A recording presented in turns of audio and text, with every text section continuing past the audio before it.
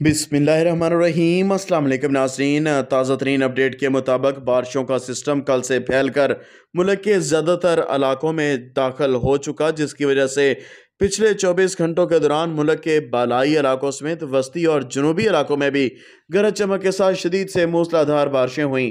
اس دوران صبح سندھ اور صبح بلوچستان میں بھی طوفانی بارشیں ریکارڈ کی گئیں۔ تاہم آج بھی بارشوں کا فوکس ملک کے زیادہ تر علاقوں پر ہوگا۔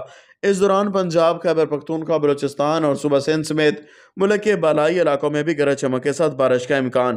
تفصیلات کے مطابق پشاور سمیت خیبر، پختونخوا کے بیشتر علاقوں میں مطلع برلود رہنے اور گرج چمک کے ساتھ بارش کا امکان۔ مری راول پنڈی، اسلام آباد، اٹک چکوال زیلم سیالکوٹ ناروال لاہور گجرانوالا گجرات، میاں والی، سرگودا فیصلہ آباد ٹوبا ٹیک سنگھ جھنگ ساہیوال بہاول نگر اکاڑا ڈیرہ غازی خان، راجن پور وہاڑی لیا، بھکر، کوٹدو اور بہاول نگر سمیت رحیم یار خان میں بھی گرج چمک کے ساتھ بارش کا امکان۔ کوہلو اور موسیٰ کھیل سمیت دورلئی، ڈیرہ بکٹی، لسبیلا آوران اور ماڑا سمیت صبح بلوچستان کے بھی بہت سے علاقوں میں بارشیں متوقع۔